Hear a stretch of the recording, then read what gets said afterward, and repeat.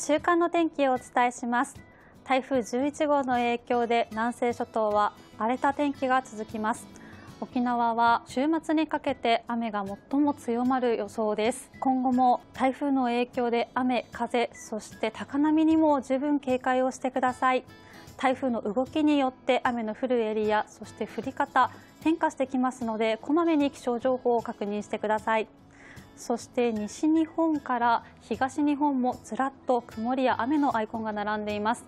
台風の影響で雨のエリアだんだんと南から北そして西から東へと移動していきます。特に西日本でも週末にかけて雨雨への警戒が必要となります。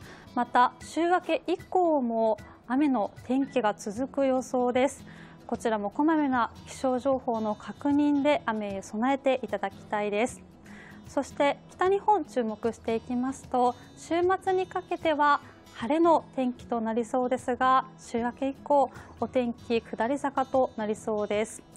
こちらも前線の影響で雨が降るエリア多くなっています。前線の動きによっては雨の降るエリアも変化してきますので今後1週間は気象情報をこまめに確認しながらお過ごしください。気温の方注目していきますと各地1週間30度前後といった気温が続きます。台風の影響もあり南から湿った空気が流れ込みやすくムシムシとした体感が続きそうです。日差しが乏しい日でも気温は高く蒸し暑さ感じられますのでしっかりと熱中症対策をしてお過ごしください。以上週間の天気をお伝えしました。ウェザーニュースのアプリからでも週間のお天気ご覧いただけます。ぜひご活用ください。